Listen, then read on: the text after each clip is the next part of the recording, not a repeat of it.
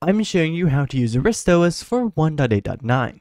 To download Aristois for 1.8.9, you can go over to their official website, aristois.net, which will also actually be linked down in the description, together with my Discord server, and I'd greatly appreciate it if you could join that.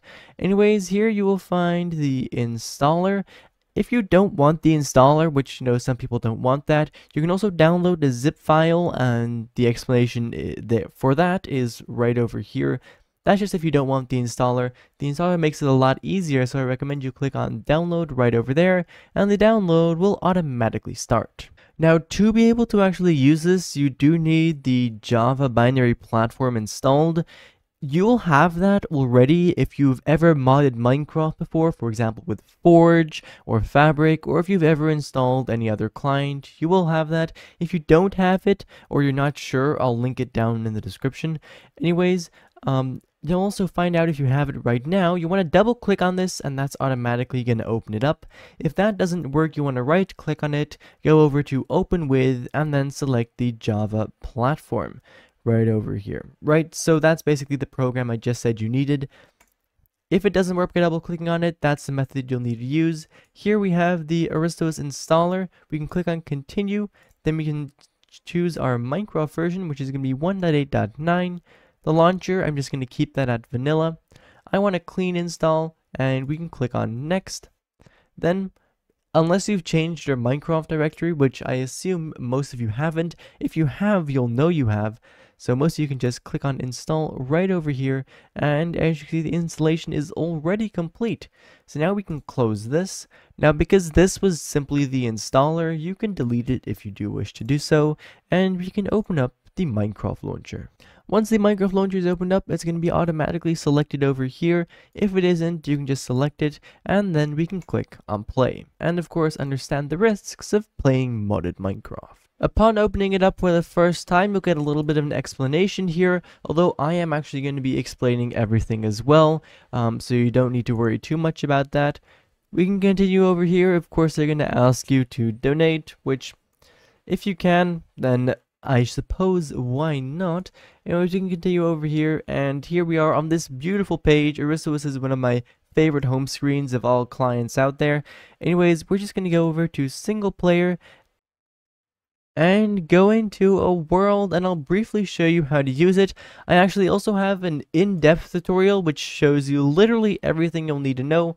Anyways, right now I'm just going to show you enough to get started. Most of it is going to be quite self-explanatory. As you can see in the top right hand side, we need to press right shift and that's going to open this up right over here. This is called the click GUI, right? And basically here we have sorted by type um, all of the utilities that this client has to offer. Right, you can scroll in some of these, make sure you don't forget that. Some people accidentally miss a bunch of stuff because of that. Now, as you can see, there are some that have been automatically enabled, some that have been pinned as well. You can pin them yourself too, and you can of course search for stuff as well through there.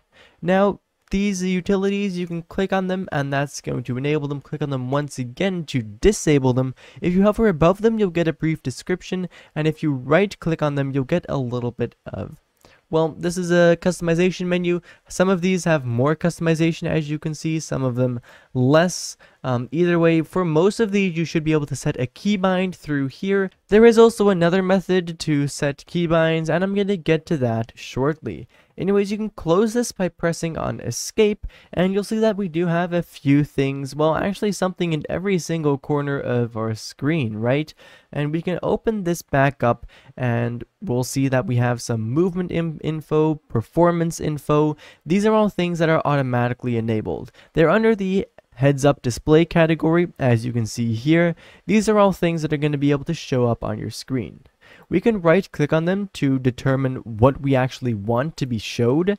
However, we can also turn these off and now as you can see, there we are. They're no longer in the bottom of our screen. We can also open this up again, turn off the active mods, and that's going to disable the thing in the top right hand side of our screen. You'll, you will have noticed there was a little thing there. Um, I can turn that back on real quick and then I can turn on maybe all these things oh dear. Um, and as you can see, they're now all in a large list um, at the top over there. Alright, um, also worth noting that um, opening this up does actually pause the game. It functions the same as the escape menu.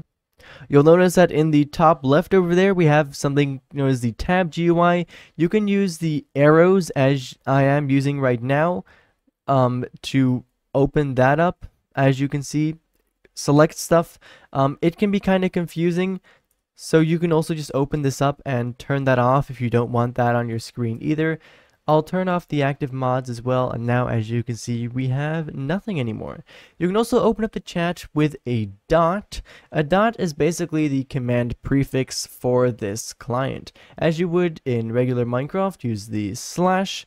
If for Aristois you use the dot. I'm going to type in dot help right over here you can too. And now as you can see we'll get pages basically of all of the commands that this client has to offer you can see after all of these commands we actually also have the usage. So dot fake and then you put a message behind it. Dot give and then the item and then the amount.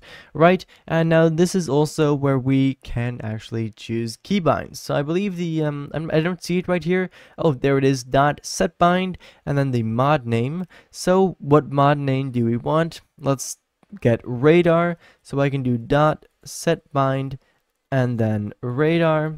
There we are. Hit enter. And now as you can see, I can press any key or mouse button to set a bind for it. Let's go L.